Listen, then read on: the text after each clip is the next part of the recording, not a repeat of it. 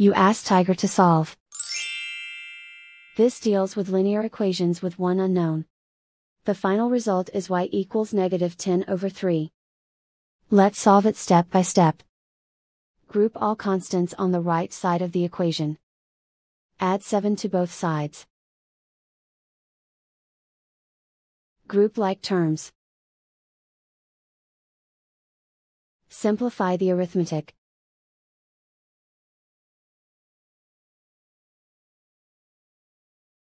Isolate the y. Divide both sides by negative 6. Cancel out the negatives. Simplify the fraction. Move the negative sign from the denominator to the numerator. Find the greatest common factor of the numerator and denominator. Factor out and cancel the greatest common factor. And so the final result is y equals negative 10 over 3.